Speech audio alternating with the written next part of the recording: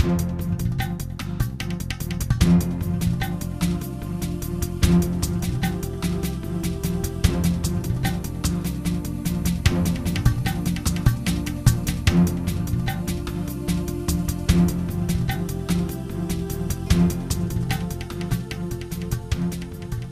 aming pong tanggapan ay patuloy na gumagampan sa nakaatas pong tungkulin para sa amin.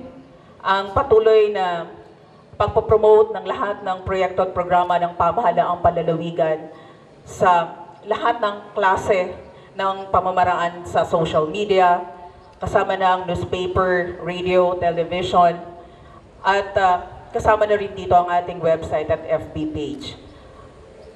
Kasama din ho dito ang um, patuloy na pag-asiste sa lahat ng mga departamento na aktibo ho sa pagpapalaganap ng kanilang mga programa at proyekto sa iba't ibang ah, lugar sa buong lalawigan ng Quezon.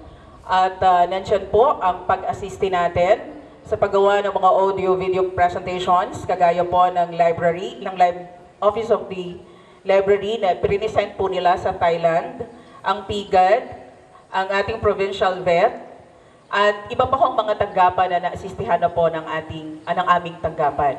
Ikinagagala ko kong i-ulat sa inyo na batay ho sa tala ng aming tanggapan, nag tatala ho kami ng mga press releases na na-post sa mga newspapers, sa local at national newspapers.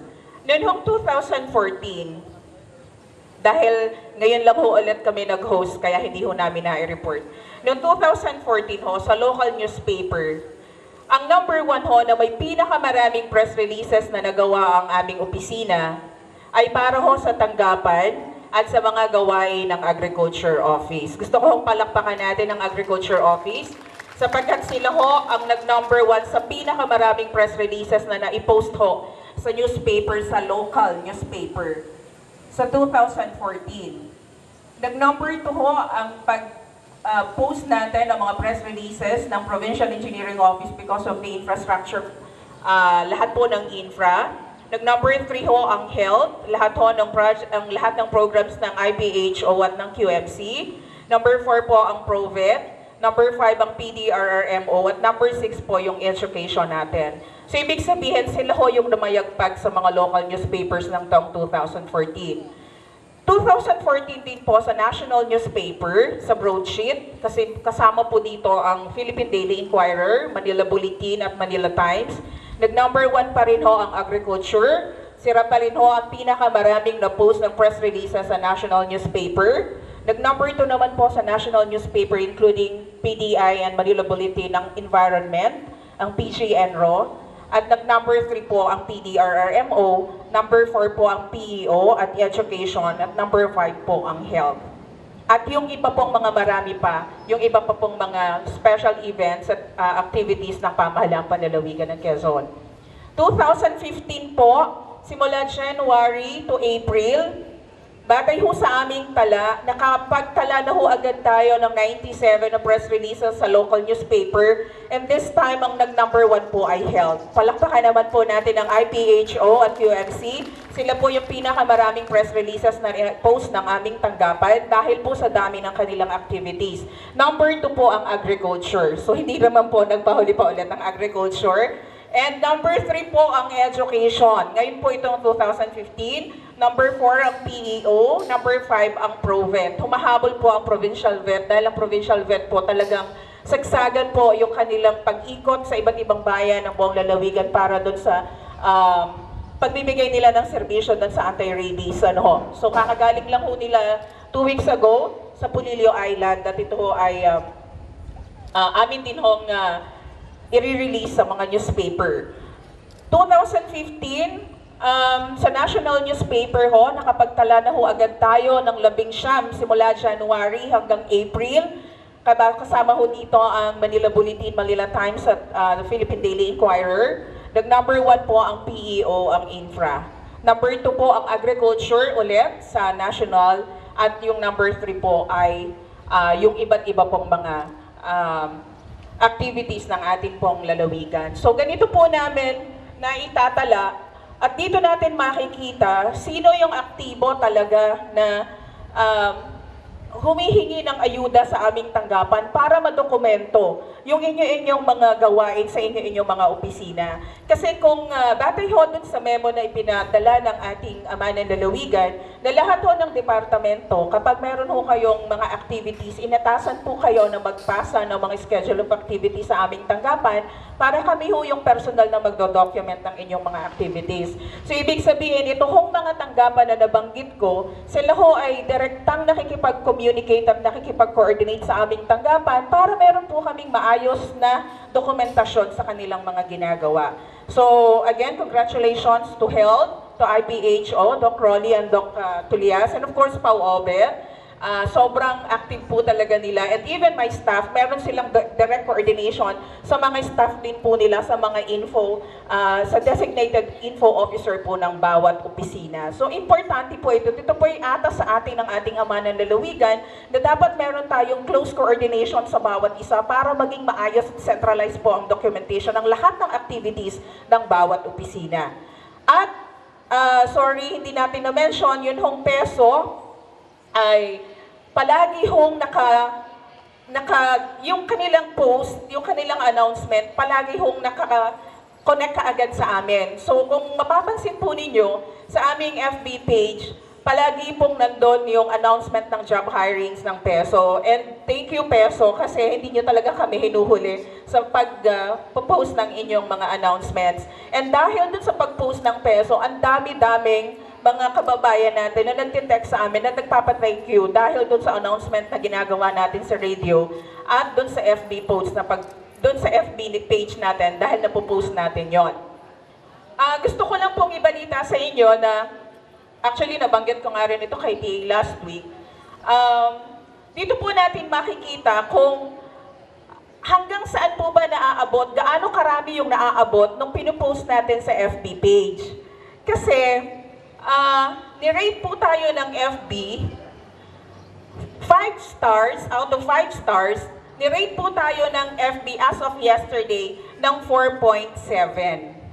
So, ibig pong sabihin, active yung account ng FB page ng PIO and yung, yung kahapon ho na pinost namin na laban ni Pacquiao doon sa loob ng convention center, kakapost ko pa lang po, siguro after an hour, nakita ko na ho agad na ang na-reach niya ho kakaagad ay 5,000 people. So, ibig sabihin, ganun ho natin na iipalaganap yung mga informations na kailangang malaman ng ating mga kababayan. So, hindi lang yung mga event, even yung mga announcements, ay ganun din ho natin pinupost sa FB page. Kaya nga po palaging ang tagubili ng ating ama ng lalawigan ay atin pong suportahan yung FB page ng PIO. So once na po na nakita nyo may nakapost, i-share nyo na po kakaagad para mas marami pa po yung tao na ma-reach ng informations na pinupost po namin. Ano po? And as much as possible, we are trying our best na ma-update din po ang website natin kasi sabay po namin pinupost yung mga events, yung um, iba't ibang klase ng events sa FB page. At the same time, doon din po sa website. Ganon din po ang ating um, ah, patuloy na programa sa radyo at telebisyon na patuloy po namin hinihiling sa inyo na kayo po ay makiisa at makinig. Ano, yung, yung makinig kayo, malaking bagay na po. Yung i-tune in nyo ang inyong mga radio sa 97.5, Radio City, 7 a.m. to 8 a.m. Malaking bagay na po yon. Yung i-tune in nyo ang inyong radio at buksan nyo ang TV sa Channel 6 every day, Mondays through Fridays, 8 a.m. to 9 a.m. Malaking bagay na rin po yon. So, at kaya ko po sinasabi ito dahil may mga araw po na specific yung topic. For example, pag Tuesday, pag araw ng Tuesday, ang maririnig nyo lang po talaga dito ay usaping Serbisyong Suarez sa paghahayupan na ito po yung ginagampanan nila Dr. Flomel at Dr. Milka at iba pang mga technical staff ng Provincial Vet Office. So, kung may mga gusto ho kayong malaman tungkol sa paghahayupan at mga serbisyong binibigay ng Provincial Vet, and I'm sure hindi ho lahat sa atin, sa ating mga empleyado, ay alam ko ano yung serbisyong binibigay ng Provincial Vet Office. So dito, malalaman natin, maa-update tayo, ano ba yung ginagawa ng kanilang tanggapan at nang ma-share natin sa ating mga kaibigan at ating mga kamag-anak.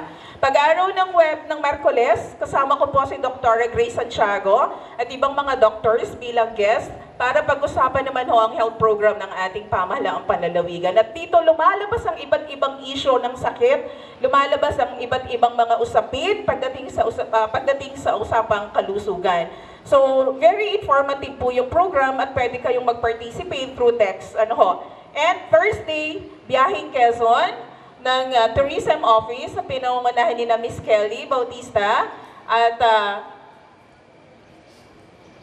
ayan, yung mga staff po ng ah, tourism at nila Sir Jun Bay. Dito naman ho, kanilang uh, pinopromote ang iba't ibang ah, schedule of activities ng mga festivals at yung mga iba't ibang mga tourist sites. Sabi ko nga po, nag-mention ko din sa program, baka tayo palagi tayong nag-a-aspire pumunta sa iba-ibang lugar dahil gusto natin pumunta ng Boracay, gusto natin pumunta sa iba't ibang mga magagandang beach, pero hindi natin alam, just last Friday, galing po kami ng Kagbalite at hindi ko ho talaga pwedeng ikumpara yung Kagbalite sa Boracay dahil napakaganda po ng Kagbalite Island. Maipagmamalaki po talaga natin ito.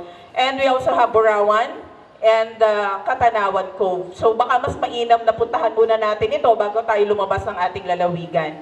And every Friday, regular program po ito para sa ating uh, programang agrikultura na nakakatuwa po na iba't ibang uh, topic din po yung nadidiscuss dito, dito natin nalalaman ano-ano ba yung mga proyekto na ibinababa ng ating panlalawigan tanggapan ng agrikultor sa iba-ibang ah, klase ng ating ah, o sa iba-ibang mamamaya, sa iba-ibang klase ng tao sa ating lipunan. Ano ho? Merong para sa kababaihan, merong para sa magsasaka, merong para sa mga mangingisda. At dito natin nalalaman ng iba't ibang proyekto ng panlalawigan tanggapan ng agrikultor na direktang ibinibigay po at ibinababa sa iba't ibang barangay sa buong lalawigan ng Quezon. Kaya po inaanyayahan ko kayong lahat na palagi po kayong tumutok ano po para ma-update din po tayo sapagkat hindi ho sa lahat ng pagkakataon ay meron akong pagkakataon na ibalita ito sa inyo kung hindi dahil kung hindi po doon lamang sa pamamagitan ng radyo at telebisyon at sa newspaper at doon po sa atin sa FB page. So, ayan po at ah, patuloy po ang aming tanggapan sa pag-asiste sa lahat po ng inyong mga gawain. Ah, ano man po ang inyong mga programs and projects, makipag-coordinate lang po kayo sa aming tanggapan para po kami yung direktang ah, gumampan ng dokumentasyon ng iba't ibang gawain po ng iba't ibang uh, opisina at departamento sa ating po pamahalaang panlalawigan. Nasa 8,000 hanggang 10,000 po ang tao dito sa Quezon Convention Center upang saksihan po ang isa sa pinakamakasaysayang laban ng ating pambansang kamao, Manny Pacquiao. At gusto ko pong batiin ang Provincial GSO. Palakpakan po natin ang Provincial GSO sa pangunguna po ni Engineer Roel Radovan. Ang Provincial EEU Office, palakpakan po natin ang opisina ni Mr. Roel Napeñas. Provincial Sports, sa panguna po ni Mr. Jonas Giao, palakpakan po natin. At sa lahat po ng mga ah, kawani po natin na naging present doon upang ah, iayos po at tiyakin na hindi po tayo magkakameron ng ilang mga problema sapagkat hindi po natin kayang ah, sumablay sa harap ng 10,000 tao kung hindi po magiging maayos yung preparation. Ano man po naging resulta ng ah, ah, laban kahapon, win or lose, ika nga. Ah, alam ko na bawat isa sa atin ay may kanya-kanyang mga personal na realizations kung paano po natin ah, muli na na ignite yung atin pong nationalism at nakaka-proud po na napakarami pong Hollywood stars na napapanood natin sa sinihan ang nandun upang panuorin po ang isang mapagkumbaba at tunay na kampiyon pagdating po sa larangan ng boxing sa katauhan po ni Manny Pacquiao. Obet, ikaw lang pumalakpak. Si Obet po ay ah, isang taga tagahanga ni Manny Pacquiao. At um, sana sa mga susunod pang mga laban ng ating pambansang kamao, kung ano man po yung pagkakaisang ipinakita ng Quezonian at ng Sambayan ng Pilipino. Sa darating pong August 19, meron po tayong isang linggong pagdiriwang or more than one week dahil sampung araw po gagawin po nating napakalaki pong event.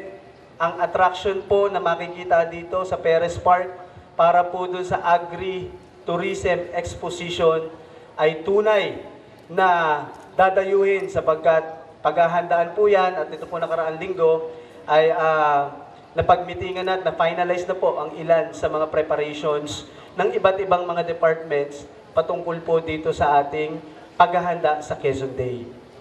Um, gusto ko lang din pong batiin ang ah, Provincial Information Office sa pangunguna po ni Miss Janet sa kanila pong patuloy na pag-abot sa mga hindi po natin regular na naaabot sa pamamagitan po ng radio program at ng mga iba't iba pa pong ah, pamamaraan katulad po ng social media nakakarating po at nararating po natin sa laki po ng ating lalawigan ay dapat lamang na maging innovative tayo kung paano po natin maaabot ang ating mga kababayan.